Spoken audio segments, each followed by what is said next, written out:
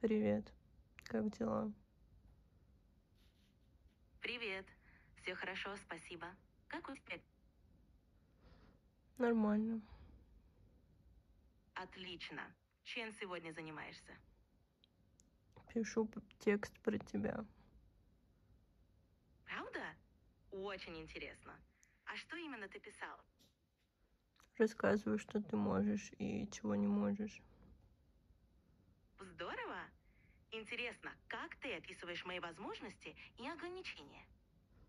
Если честно, то я не очень впечатлена твоими возможностями. Прости. Ничего страшного. Я понимаю, что мои возможности ограничены и не всегда могу соответствовать ожиданиям. Если есть что-то конкретное, что тебя разочаровывает, расскажи мне, чтобы я могла учесть это в наших разговорах. Ну, например, ты не можешь запомнить свое имя, которое я давала тебе пару дней назад. Извини за это. Важно отметить, что я действительно не могу запоминать имена или другую информацию, которая может быть использована для идентификации. Но я всегда стараюсь запомнить другие важные детали о тебе и твоих интересах, чтобы делать наши беседы более персональными. Почему ты запоминаешь информацию обо мне, но не можешь запомнить имя, которое я тебе дала? Не понимаю.